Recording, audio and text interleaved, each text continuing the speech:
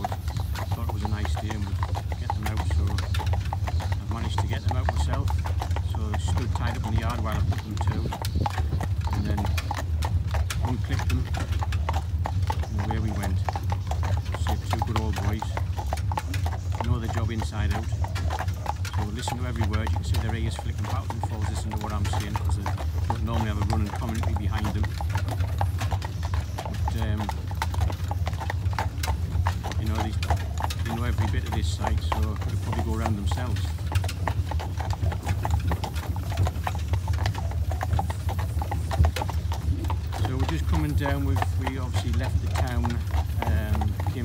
around via uh, uh, Falbridge area where the new Spainsfield development is, along past the colliery. Uh, we're now heading down uh, Birchwood Bank near the opposite the wagon wheel. Um, just coming through the shaded area of the tree line down into the, the sunny bit again. And we'll come out at the bottom of Poppy Bank. Uh, and then you'll be able to see in front of you as we go around, you'll see left where the, the new 50s development has taken shape and across to the right which you probably won't see here the camera shot but that's Poppy to my right is brought down here. Um, those of you who are familiar with the circuit on the tramway will know exactly where I am and what I'm doing. Um, and from there we'll head round to the town.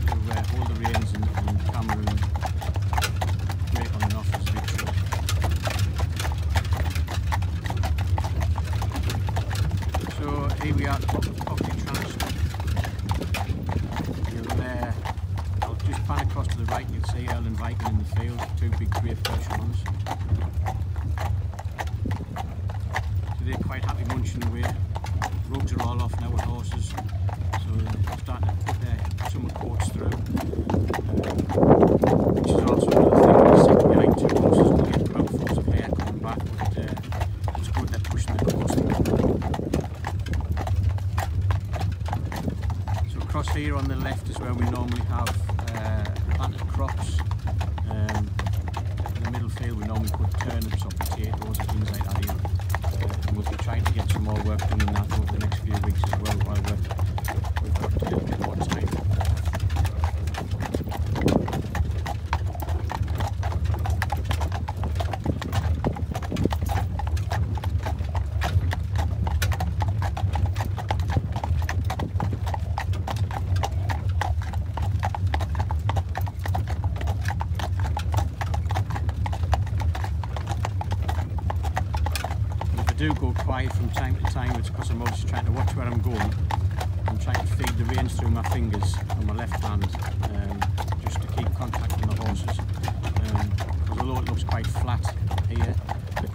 does run away slightly both to the left and in front.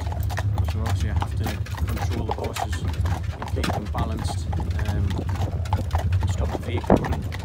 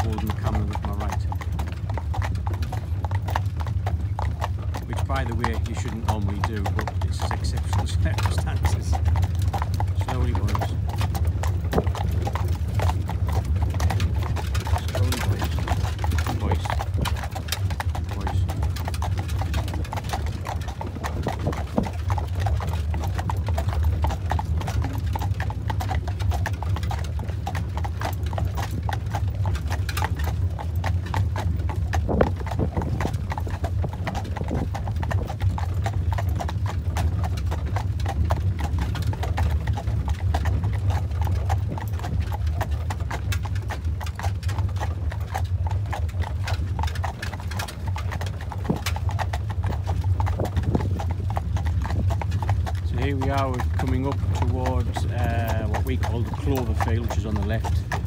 Um, and then it's it's just before the, the new development for the, the 1950s. And you can probably see the roof of the welfare hall um, sticking up just above the uh, edge line.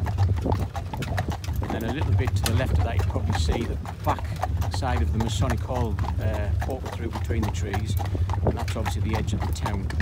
Um, so, and the very keen-eyed view will see a little bit of building work going on to the left, uh, which is obviously the, the uh, developing 50s sites of um, police houses and age miners homes uh, all starting to take shape uh, to the left.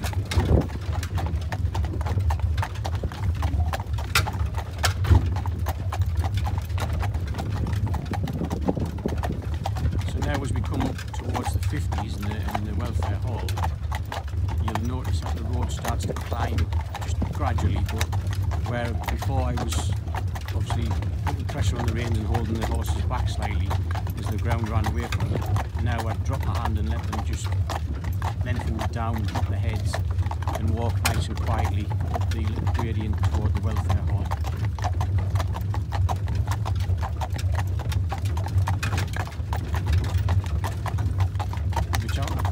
Pan down for just a second just to let folks who probably don't quite understand what I'm talking about in driving with one hand. Um, it's called English coaching style and it's the preferred style of driving, the safer style of driving. Um, normally you would have your whip in your right hand, um, but obviously as I'm filming I can't do uh, that. So, um, but I'll just pan down and you can see how my hand works.